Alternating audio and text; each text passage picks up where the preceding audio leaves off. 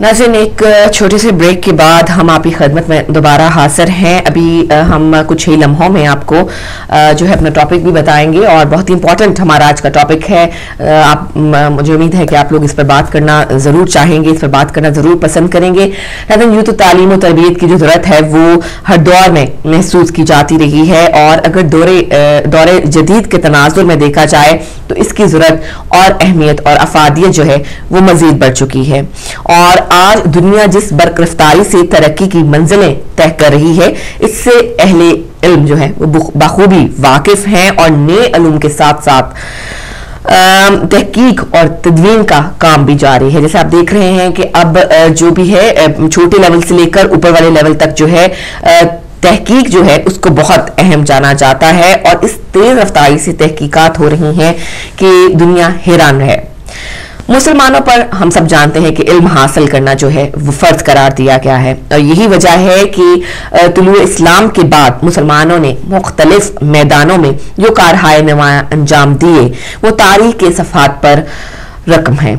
इस्लाम ने दीगर शोबों की शोबों की तरह असूल इल्म के मामला में भी मर्द जन को के माबैन कोई तफरीक नहीं की है और नबी अक्रम सल्लल्लाहु का इरशाद है कि इल्म का हासिल करना हर मुसलमान मर्द और औरत पर फ़र्ज़ है।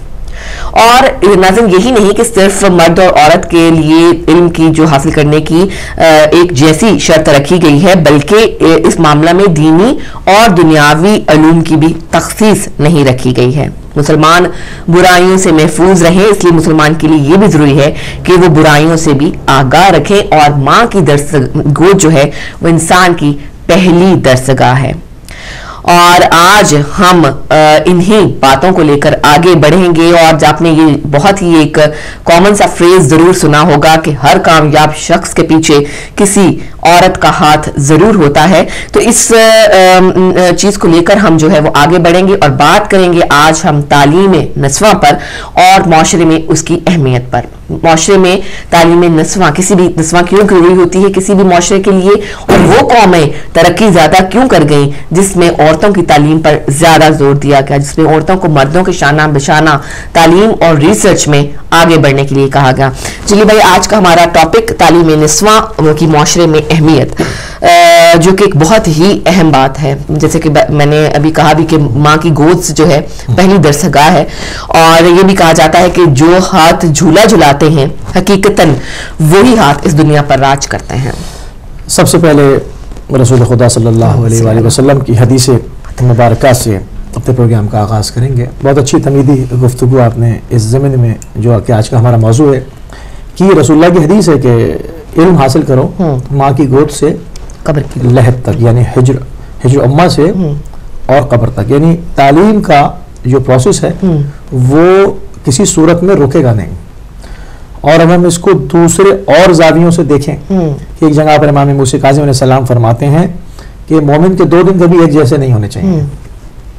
इसमें भी तालीम का अंसर गालिब आया हुआ यानी दो दिन आपके एक जैसे कब होंगे? जब आपका सीखने का अमल रुक जाएगा। बिल्कुल। जैसा आज का दिन था वैसे ही गुजर गया या उससे बदतर कर लिया अमाल की सूरत में। मगर मोमिन वो नहीं जिसके दो दिन एक जैसे हों। यानी कि मोमिन को इर्तका हासिल है। वो इर्तकाई मनाजिल को तय करता हुआ आगे जाएगा। आज जो मैंने काम अंजाम दिए हैं तो कल यकीनन मेरे इल्म में इजाफा होना चाहिए ताकि कल का दिन आज के दिन से बेहतर बिल्कुल। हो। और जब इंसान बिस्तर पर जाए सोने के लिए सरहद के लिए तो अपने पूरे दिन के अमाल पर निगाह डाले ताकि दूसरे दिन को बेहतर बना सके। अब ये तो है वो हमारी तालीमात जो कि हमको आ, हमारे आइम्मा से मासूमीन अलैहिस्सलाम से मिली। और ये सारा इल्म मासूमीन अलैहिस्सलाम का रसुल्ला का दिया हुआ इल्म है और रसुल्लाह के कल्ब अथर पर जो है वो सहीफ़ों की सूरत में परवदिगार ने नाजिल किया। अब तालीम की जहाँ पर और खसूसियत के साथ तालीम नस्वा की जो हम बात करने बैठे हैं इसका एक बैकग्राउंड है। अब यूरोप के अंदर और दूसरी तरक्की याफ्ता कौमों के अंदर जो है वो स्पेसिफाई नहीं किया जाता औरतों की तालीम का। तालीम सबके लिए है। सबके लिए। जो कि एक इस्लामी नुक़ नज़र था उसको इन्होंने अपना लिया हम बहुत पीछे हो गए। हम अहादीस बयान करते हैं हम चीज़ों को मिंबर पे से बयान करते हैं हम रमज़ान के अंदर ज़ोर देते हैं मुहर्रम के अंदर हमारे पास लोग अच्छे खासी तादाद में होते हैं हम बयान करते हैं मगर हम बयान करके रुक जाते हैं हमारा माशरा पस्ती में चला गया।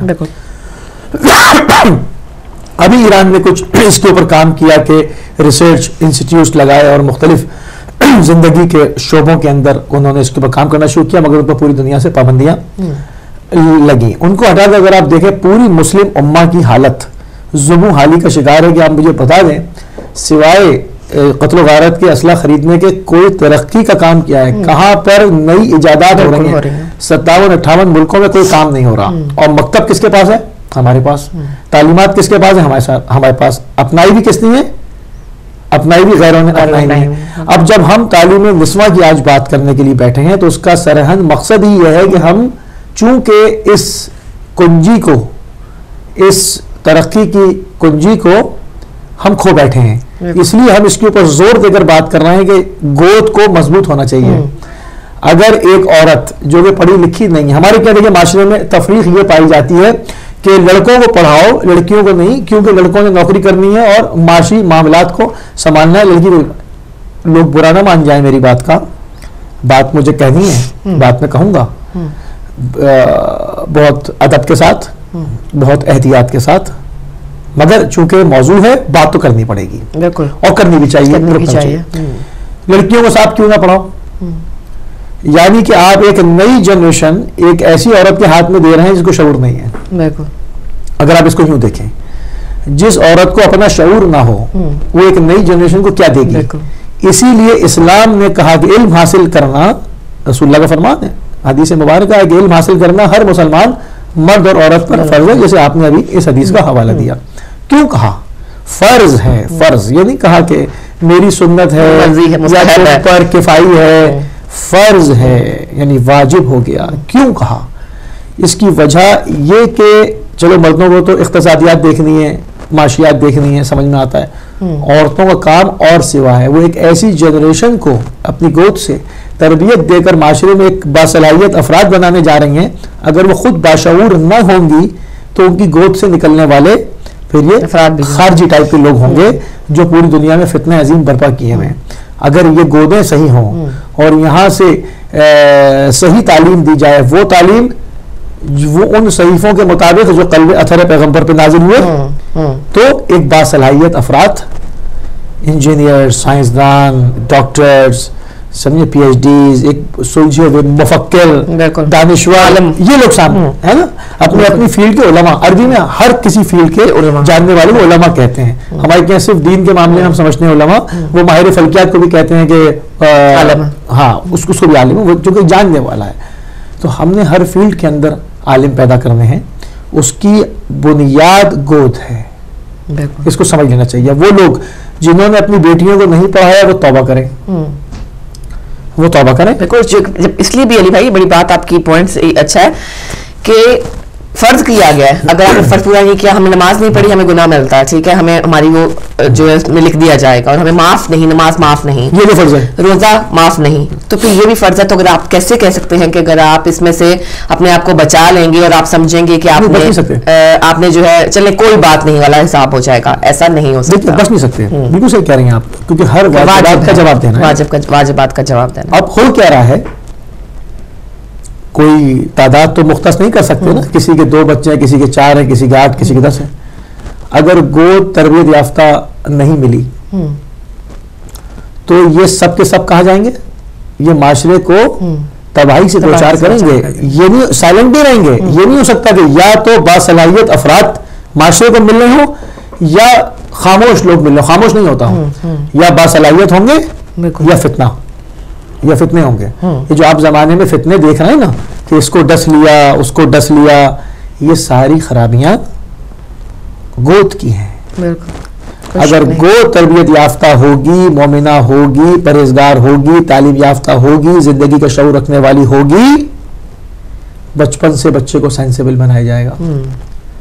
अब वहाँ पर क्या है? दुनिया की लज्जतों में गर्क ऐश इशरत दूसरों के ऊपर उंगली उठाना वो कहते हैं ना उर्दू में कि अपनी तार का अपनी आग का शहतीर नज़र नहीं हाँ, दूसरे की तार का आग का काटा नज़र आ रहा है हाँ।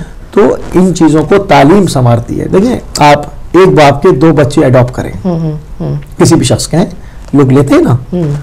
अडॉप्टेशन होती है लोग लेते हैं। एक को बहुत ही ज़्यादा पढ़ाया जाए और एक को फ़र्ज़ करें ना पढ़ाया जाए। उन दोनों क्या वो साथ बैठने लायक होंगे कभी हालाँकि एक बाप की औलाद है। एक माँ से जन्म लिया है। हम्म, तालीम इंसान को संवार देती है।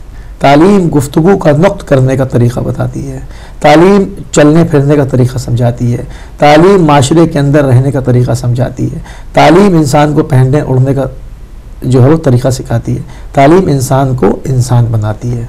जी इसमें कोई शक नहीं है और नाजरन को बताते चले कि नाजरन आपके लिए हमने अपने स्क्रीन पर आपको नंबर नज़र आ रहा होगा हमारे आपके लिए फ़ोन लाइन जो है कॉल्स जो है वो ओपन कर दी हैं आप इस फोरम में शरीक होना चाहें आप बातचीत करना चाहें तो हम आपको वेलकम कहेंगे और ये बहुत इंपॉर्टेंट टॉपिक है इस पर हम आपका भी बात करना और राय देना बहुत ज़रूरी है ताकि ये राय जब बिल्डअप होती है तो फिर माशरों में इनकलाब भी आते हैं और जहन भी रोशन होते हैं और सबसे बड़ी बात यह कि अली भाई दुनिया इस वक्त ऐसे ऐसे इनकलाबात से और ऐसे ऐसे चैलेंजेस से चैलेंजेस से जो है वो दो चार है कि इन हालात में इन अदवार में जो है खातन की जो ज़िम्मेदारी है वो और बढ़ जाती है। उनको घरेलू कामकाज के साथ या अपने घरों को संभालने के साथ साथ जो है वो दुनिया की तमाम चीज़ों से बाखबर रहना भी बहुत बहुत ज़रूरी बहुत बहुत ज़रूरी है। कॉलर को शामिल करेंगे जी।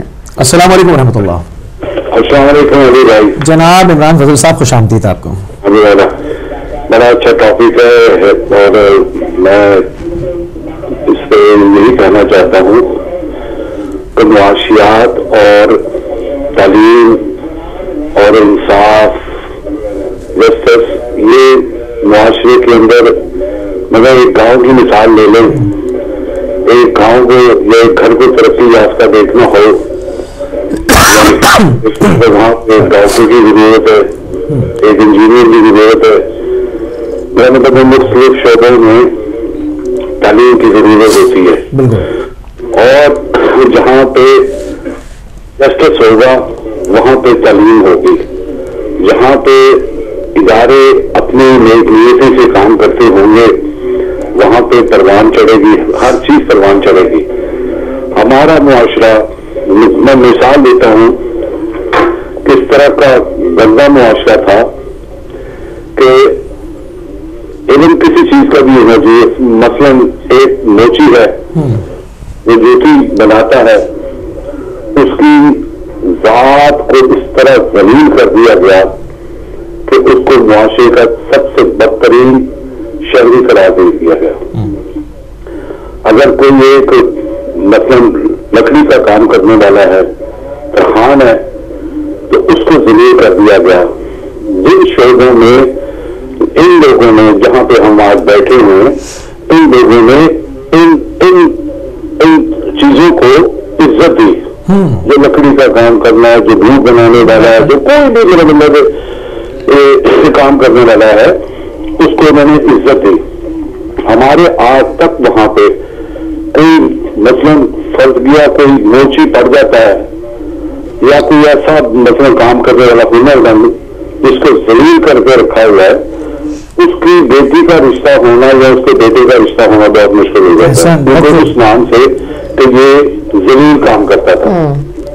बहुत खूब बात की आपने। जहाँ पे इस्लाम था इस्लाम ने तो इक्वल राइट्स दे दिए थे कि अजमी को और इस तरह का तो सबका एक ही राइट है। अरबी का अरबी पे नहीं कोई बरतरी नहीं। कोई सही है। अब पहले की बात यह है कि जिन लोगों ने तरक्की की उन लोगों ने हुनरमंद लोगों को टेक्निकल लोग जो थे उनको इज़्ज़त दी और उनको वसत दी कि तुम और इसमें अच्छा करो तुम और अच्छा करो। हमारे जाति सत्तर साल से क्या पता नहीं कितनी सदी से हो रही है कि हमने जो रेवेन्यू देने वाली जाते हैं या जो जो काम करने वाले हैं हमने उनको ज़मीन करके रख दिया बिल्कुल। मुआशरे में। वो कर नहीं सकते हैं। और इसे कुछ लिए आती है कि डॉक्टर अब डॉक्टर जो है या कोई भी जो बनने वाला है उसके लिए आगे ग्राउंड ही कोई नहीं है कि वो डॉक्टर बन जाए हमें जो बताएँ पाकिस्तान में जिस बंदे का पंद्रह हज़ार रुपया तनख्वाह है उसकी उसका बेटा या उसकी बेटी डॉक्टर बन सकती है। वो तो वो, वहाँ तक जा ही नहीं सकती है। तो बात यह है कि पहले निज़ाम ठीक होना चाहिए। मुल्क ये ये क्या कहते हैं लॉ होना चाहिए और ह- अदालत इस तरह की हो कि हर इंसान को उसका हक मिलना चाहिए बिल्कुल सही है। बहुत शुक्रिया इमरान साहब ये हाँ, चीज़ें पढ़ाई भी शौर है पाकिस्तान में बच्चों को पढ़ने का शौर है। और हमारी आधे से ज़्यादा जो आबादी है वो तो गाँव में है। वहाँ पे यकीन करें कि वो इन चीज़ को इन्होंने लेके भी गए कि वहाँ पे यकीन करें एक था जमींदार था उसका बेटा पड़ गया। उसका पड़ गया बेटा तो उसने बकायदा फूड़ी बिछा दी फूड़ी जैसे कोई मरता है तो फूड़ी बिछाई और ये सच्चा वाक्य है मेरे भाई गए वहाँ पे भी उसको मिलने तो उसने कहा यार देख मेरे पुत्र ने क्या कर दिया? तो क्या किया? कहता है वो पड़ गया देखो पड़ गया। यानी कि बकायदा उसने पूरी बिछाई हुई कि ये पड़ गया इसने हमें जलील कर दिया है। क्योंकि जो जगीरदार थे जो जमींदार थे वो यही चाहते थे कि उनके इर्द गिर्द के लोग जो थे जो काम करने वाले वो तलीम याफ्ता हो ना। इसलिए अगर ये तलीम याफ्ता हो गए तो मैं किस पे हुक्मरानी करूँगा? मैं तो जानवरों को करता हूँ हुक्मरानी। जैसे उनके कैटल वगैरह वैसे यहाँ पे इंसान है।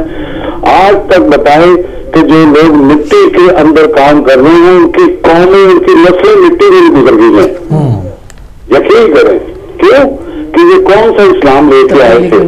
है। बहुत शुक्रिया। हाँ इनके पास है। हम्म, यकीन करें ये जो जहाँ जिस मुल्क में बैठे हैं इस्लाम तो यहाँ पे है कि इंसान को उन्होंने बेसिक चीज़ें दे दी हैं और इदारे भी खोल दिए कि भाग इलम में कितना भाग सकता है कितना इलम तो हासिल कर सकता है। बहुत अच्छी गुफ्तगू माशाल्लाह। जजाकल्ला इमरान फजल साहब बहुत शुक्रिया। असलकुम वरहमतुल्लाह। वालेकुम बहुत अच्छी बात इमरान फजल साहब ने की। इस पर मैं एक सवाल करूँगा अपने तमाम नाजरीन से। गौर करें कि एन डब्ल्यू एफ़ पी में खसूसियत के साथ बच्चियों के स्कूल क्यों तबाह किए गए? हम्म, हम्म, लड़कों के स्कूल बॉयज़ स्कूल इतने नहीं तबाह किए जितने खसूसी के साथ तालिबान ने लड़कियों के स्कूल तबाह किए। अब इससे अंदाज़ा हो रहा है आपको कि इंटरनेशनल साजिश क्या है? हम्म। वो इस नफ्स को को खत्म कर वो इस नफ्स को दर्क कर चुके हैं। वो इस वो इस चीज़ को ऐसे हम। हकीम देखते हैं ना नफ्स। और मर्ज पता कर लेता है। वो नफ्स जान चुके हैं कि इस्लाम किसी भी कौम की तरक्की का राज क्या है? गोद का तालीम याफ्ता होना। औरतों को तालीम याफ्ता होना। ताकि ये, ये सास बहू के झगड़े ये फला ये ये सब क्या होता है? ये सब जहलत में होता है। जब पढ़ा लिखा माशरा होगा ना होगा मतलब मैं ये नहीं बात कर रहे हैं। लड़ेंगे नहीं। हम्म, हम्म, मगर हम्म। ये कि एक एक सेंसिबल तरीके से एक लिमिट में रहेगा। ये नहीं होगा कि टू मच हो जाए। तो उन्होंने क्या किया? बच्चों के स्कूल पे हमले किए ताकि मुसलमानों के अंदर से जहाँ पर भी हमें मौका मिल रहा है मुसलमानों में बच्चियों को पढ़ने ना दिया जाए। ताकि इनको शऊर ना हो। ये पढ़ गई तो आने वाले जो औलादे हैं जिनको हम बना रहे हैं दहशत गर्द वो नहीं बनेंगे। वो नहीं बनेंगे। वो नहीं बनेंगे। उनको शौर आ जाएगा। हाँ तो ये बाकायदा मुनज्जम तरीके से अच्छा जिनसे धमाका कराया गया ना वो भी उन्हीं गोदों के ज़ाहिर गोदों के तो उनको भी नहीं पता हम जो बम लगाने जा रहे हैं। क्यों जा रहे हैं। तो इस ये इस्तेमाल किया गया। हम्म, तो अब ये जो अब इसमें जिन बड़े बड़े मुल्कों ने खयानत की है ना जिन्होंने ऑफ़िस खोल के दिए हैं वो खुदा के जवाब देंगे उसका। हम्म। तो ये की है? हम जो आज टॉपिक लेकर आए हैं और उसके ऊपर अपने नाजीन के साथ गुफ्तु कर रहे हैं हम्म। ये बाकायदा जो है वो हमें इस चीज़ की तरफ़ दावत देता है कि ये हमारी खोई हुई हिकमत है जिसको हमने हासिल करनी है। मौला मेर मोमिन का फरमान मौजूद है कि हमत चाहे मुनाफिक के सीने में से भी हो वो मोमिन का गुमशुदा ख़जाना है उसको ले लो। हम्म, तो हमने जो ये चीज़ें दुनिया को सिखाई हैं रहमतुल्लिल आलमीन ने दुनिया को सिखाई हैं जहाँ पर बच्चियों को ज़िंदा दफन किया जा रहा था औरतों के कोई राइट्स नहीं थे वहाँ पर उन्होंने औरतों के राइट्स उन्होंने पौधों के राइट्स पे बात की है। उन्होंने जानवरों के हकूक़ पे बात की है। उन्होंने जो इन्वायरमेंट के ऊपर बात की है उस ज़माने में वो उस वक्त इन चीज़ों को बात कर रहे थे। औरतें तो मर्दों की तरह हैं। सब एक दूसरे ही से जन्म ले रहे हैं ना। तो यहाँ तो हमने उन चीज़ों को खो दिया। हम कहाँ चले गए? और आज दुश्मन हमारा उन्हीं बातों को लेकर उस पर रिसर्च करके कि कुरान बार बार एक चीज़ की दावत दे रहा है। गौर फ़िक्र गौर फ़िक्र करने के तो गौर हम हमने कसम का खाई है इस्तेमाल कि करें। नहीं हम- करना, हम हमें नहीं करना। ओवर टाइम लगाएँगे। पूरी पूरी रात पैरों में सूजन आ जाएगी। हम कुरान की तरफ़ देखेंगे नहीं हम पढ़ते चले आएँगे समझेंगे नहीं पढ़ेंगे समझेंगे नहीं। कुरान कह रहा है एक आयत पढ़ लो। गौर कर लो उस पर तुम्हारी ज़िंदगी बदल जाएगी। कुछ थोड़ा थोड़ा पढ़ो उसको गौर तो करो। वो कहते हैं गौर नहीं करना है पढ़े जाएँगे बस। पढ़े जाएँगे। और यही इतनी सी सिंपल सी एक बात जो आ, मेरा ख्याल है कि उम्मत मुसलमान का नहीं आई लेकिन ज़ाहिर है कि बाकी तरफ़ तकी याफ्ता के नॉन मुस्लिम जो हैं कंट्रीज़ उनको ये बात समझ में आ गई है कि माशरे में पैदा होने वाली बुरा- बुराइयाँ बहरूप और ये सब चीज़ें जो हैं उनकी वजह एक ही होती है तालीम और तरबियत की कमी। और तालीम लाख चाहें कि बच्चे को पैदा होते ही किसी नर्सरी में डाल दिया जाए जो ही बच्चा माँ की गोद में आएगा। गोद पहली। गोद नर्सरी पहली। लाख। चाहें जो आप मर्ज़ी कर लें आप बच्चे की नर्सरी पहली माँ की गोद ही रहे। आप मुझे एक चीज़ का जवाब दें। पूरे मुसलमानों का खान काबा मरकज है। खान काबा जिस मुल्क में मौजूद है वहाँ की हालत यह है कि वहाँ पर औरतों को गाड़ी चलाने का राइट नहीं है। आप मुझे बताएँ ये ये इस्लाम की क्या छवि दिखाई जा रही है? अगर आपसे गाड़ी अभी रखवा ली जाएगी आप नहीं चला सकती। आप मुझे बताएँ आपकी ज़िंदगी रुक जाएगी? रुक जाएगी ना? सब सिस्टम रुक जाएगा। मुसीबत हो जाएगी ना? वहाँ पर पीस के रखा हुआ है। क्यों किया ऐसा? ह्यूमन राइट्स की तंजीमें वहाँ क्यों नहीं बोलती? जरा जरा सी बात पर उछलने वाले इतनी बड़ी वायलेशन पर क्यों नहीं बोलते? क्यों इन मगरिब के भी मफाद वाबस्ता हैं कि वो जो बैठ कर जल्लाद इस्लाम की इस भयानक तस्वीर को इस्लामी कहकर पेश कर रहे हैं इस भयानक तरीन तस्वीर को इस्लामी नहीं है उनको फ़ायदा हो रहा है कि हाँ भाई मुसलमान वहाँ तो औरतें गाड़ी चला रही हमारे क्या देखो रात के दो बजे औरत घूमती है कोई मोबाइल नहीं छीनता उससे पैसे नहीं छीनता आराम से अपने घर आती है इनके यहाँ देखो गाड़ी नहीं चला सकती। ये है मुसलमान। तो ये जो बारीक काम हुए हुए हैं ना बहुत स्लो पॉइजनिंग है ना आहिस्ता आहिस्ता छोटी छोटी बातों से खराब किया किया गया इस्लाम का। मगर मुसलमानों की समझ में नहीं, नहीं आवाज़ नहीं उठाते। अगर तमाम मिलके इसके ऊपर आवाज़ उठाएँगे भाई क्या है ये है क्या? ये किस सदी में रह रहे हो और ये कौन से स्टोन एज की बातें हो रही हैं? बातें हो रही हैं। मतलब क्यों नहीं गाड़ी चलाएगी औरत? वो एक ड्राइवर हायर करे और उसके साथ घूमे मतलब क्यों? अच्छा यूँ तो आपको महरम ना महरम की बड़ी प्रॉब्लम है। उन्होंने कहा कि महरम का इंतज़ार करे जब आएगा तो वो फिर उसको मर भी रही हो तो जब नहीं जब तक अ- वो- अ- अगर किसी पर महरम ना हो अकेली हो तो आपने उससे उसकी सारी ज़िंदगी छीन ली। तो ये जो शबी पेश की जा रही है ये खिलाफ इस्लाम है। जो एन इस्लाम है इस्लाम देता है मुकम्मल राइट्स इस्लाम जब बात देखें एक जाहिल औरत के ऊपर जुल्म करना आसान है या पढ़ी लिखी औरत पे? Of course, ज़ाहिर ज़ाहिर है ना? जहाँ पर राइट्स ना हो जिसको कुछ पता ना हो एक पढ़ी लिखी होगी तो बात तो करेगी ना कि मेरे साथ ये किया भाई। तालीम को रोके जाने का मकसद ही सबसे पहला ये है, है। कि ताकि जुल्म और वो लोग जो कि अपने आप को इस्लाम का ठेकेदार कहते हैं जब वो करेंगे तो कौन सी सुन्नत बयान हो रही है भाई? तो ये समझ में नहीं आया आज तक। वहाँ तो मर्द पढ़े लिखे नहीं है तो आप औरतों की क्या अली भाई बात कर रहे हैं? कॉल को शामिल करेंगे। अस्सलाम वालेकुम हम माफ़ी चाहता हूँ मैं मौलाली का एक मौलाली के दौर का वाक्य बताना चाहता हूँ। कि एक बूढ़ा खड़ा हुआ बाज़ार में मांग रहा था। तो मौलावी ने तो साथ रो भी रहा था। मौलावी ने अपने सहाबे को भेजा कि पूछो इसे ये मांग भी रहा है रो भी रहा है? तो वो गए सहाबे उसके पास गए तो उसने बताया कि बुज़ुर्ग तू रो भी रहा है और मांग भी रहा है मैंने कहा क्या बताऊँ कि इसी शहर में मैंने सारी ज़िंदगी काम किया। हार्ड वर्क किया और उसके बाद मेरे दो बेटे थे। मैंने उनको पाला और उसके बाद वो बेटे मुझे इस बुढ़ापे में छोड़ के चले गए।